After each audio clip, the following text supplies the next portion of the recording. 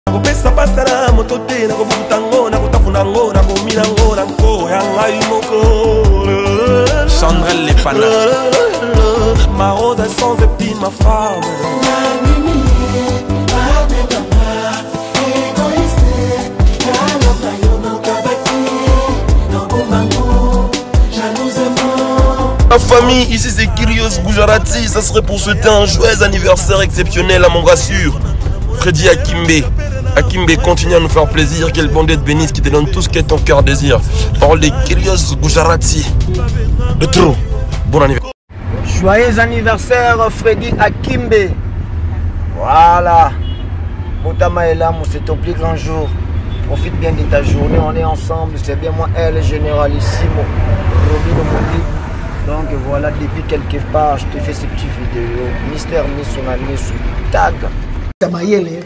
oyo bato bazo respecte monde entier mobala pembe elengi fredi akimbe sisi akotama lelo oyo vie ezwaka lider américaine na lela o fort salaka mosala obieka ndongo osalaka ndenge na baka mobala pembe elengi mobala pembe kou tala masala nga ya bogard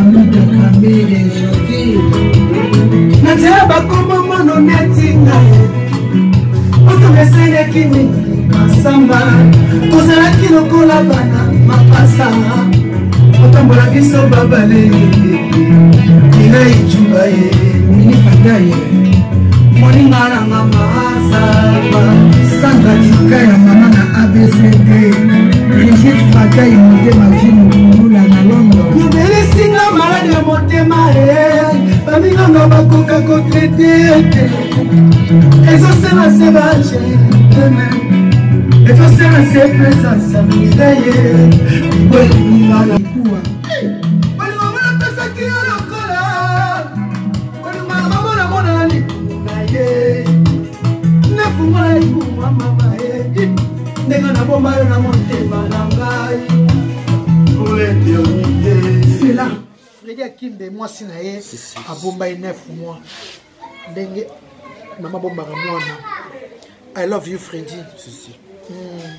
oyo eza soko mwasi to moto azoyebisa yo nzembo eza mwasi ta mobali eh?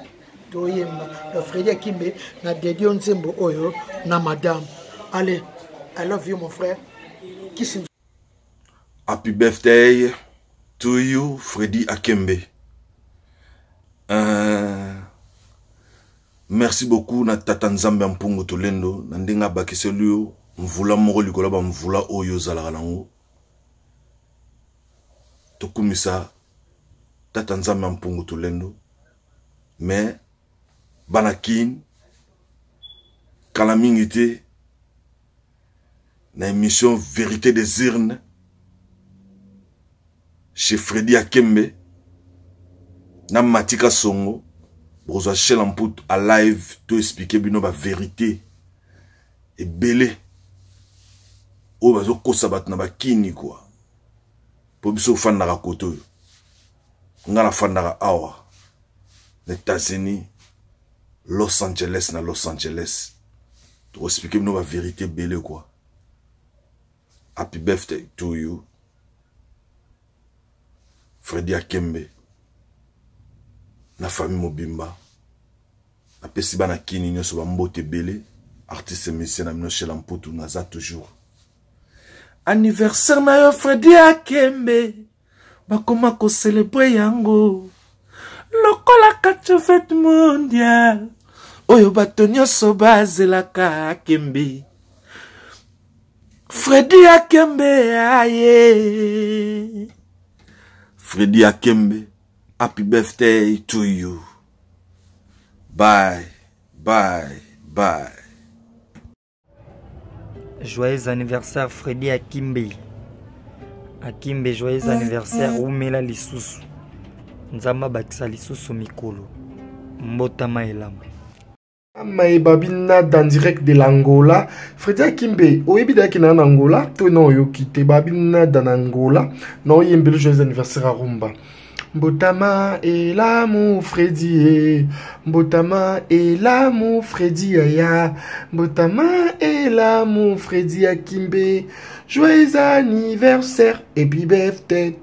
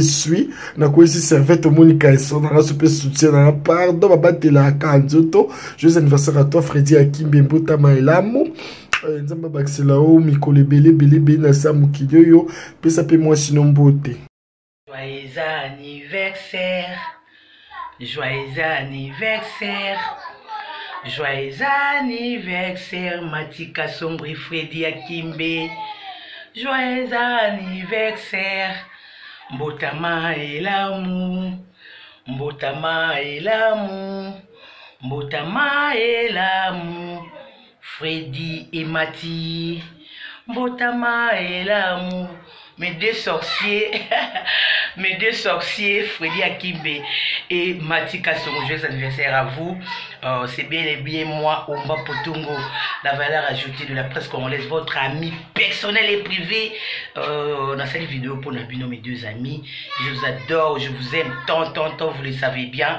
Nalingaka bino makasi, pe nalingaka bino na tina. Voilà, merci beaucoup mes deux amis, frères, mes deux sorciers na benga bino bandoki na nga. Eh, bandoki na nga.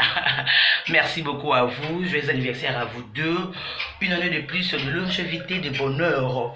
pour vous deux euh, bozalaka bino gentil cool méchant agressif des fois botumolaka nga mpe mingi vraiment merci beaucoup à vous botikali kotumola ngai eh? botikali botika merci beaucoup à vous deux une année de plus de prospérité de bonheur à vous deux nzambe azala na bino bakisa biso bino lisusu sagesse na intelligence à vous deux vraiment je vous aime je vous aime je vous adore boyebi bien nalingaka bino makasi mpe nalingaka bino na ntina voilà mes deux sorciers joyeux anniversaire à vous lelo tofete makasi 14 ntaba na nde nkwanga mingwele ai ekoyinda ai joyeux anniversaire à vous coucou joyeux anniversaire à toi mon fils freddy akimbi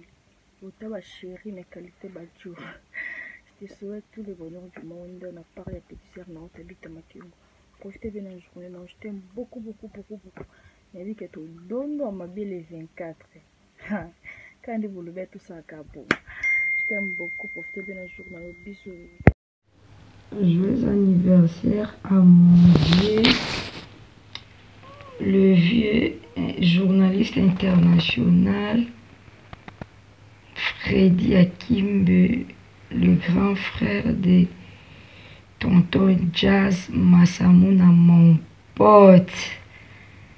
Je te souhaite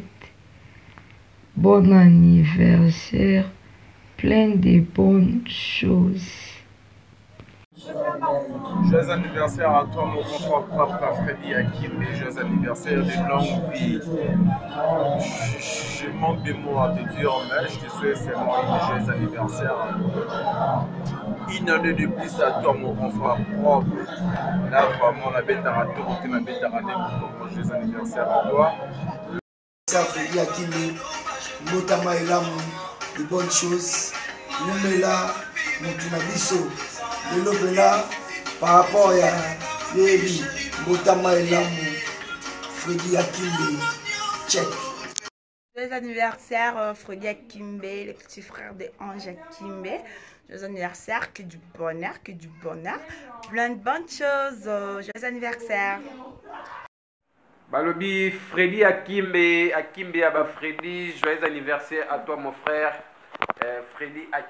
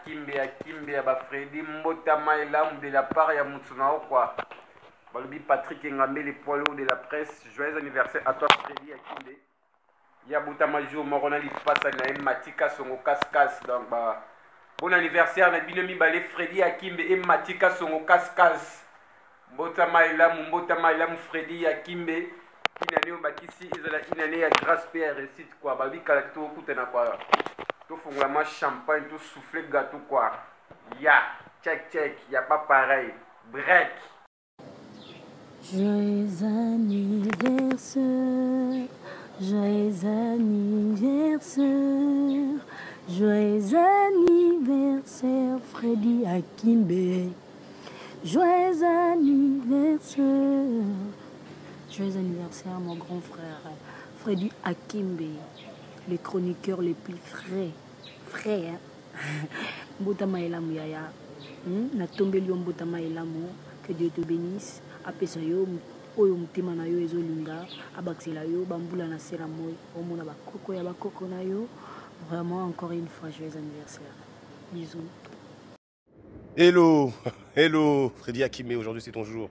Je fais cette vidéo pour te souhaiter un joyeux anniversaire, une longue vie à toi. Dieu t'a donné un an de plus, ça se fête, ça se fête.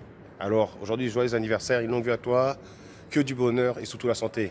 Et profite bien, c'est Stéphane Dominguez, on est ensemble. Check, le chef d'Aubervilliers. Merci beaucoup.